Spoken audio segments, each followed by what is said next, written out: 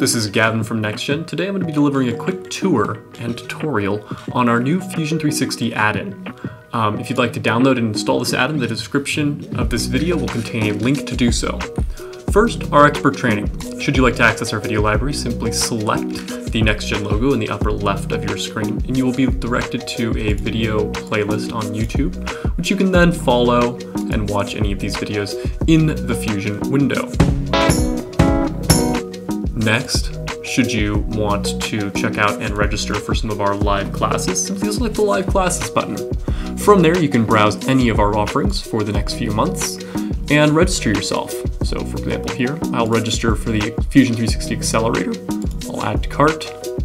I will go ahead and view my cart and check out.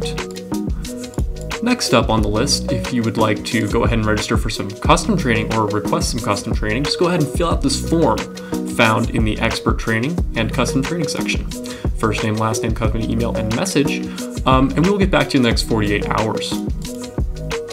Next up, should you want to talk to someone immediately, you can go ahead and select Call Us. At this number here, uh, if you select Call Us, this will open up a VoIP client on your uh, computer, which will allow you to speak with an expert over the phone. Next up, you can do the same thing with emailing, or you can fill out a contact form, and we will reach out to you in the next 48 or so hours. Next up, we have technical support.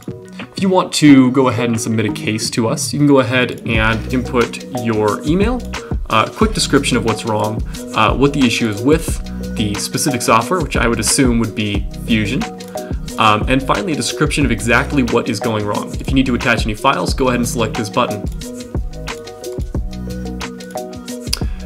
Next up, we have if you wanted to check your previous cases that you've registered with us go ahead and select the previous cases button. As you can see, I am signed in here. Um, all you got to do is follow the login procedure if you are not signed in, and it will bring you to the screen. You'll be able to see any open or pending tickets you have on this screen here. From there, you can respond to existing tickets or um, interact with our uh, experts. Next, let's say you have an issue with your post processor. All you got to do is go to our technical support and post processor mods. What this will do is it'll open up a form here, which will allow you to fill out all of the information we need in order to uh, fix or generate a custom post for you.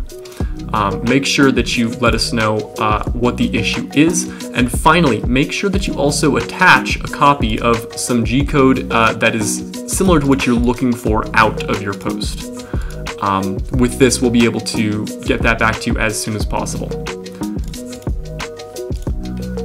Finally, should you want to purchase some Fusion extensions or purchase anything else from NexGen, uh, you can just go to the Fusion, e our little e-store here, and this will take you to a screen where you can browse some of our offerings uh, in terms of extensions. You can go ahead and purchase those, uh, just like we did with the uh, calendar items.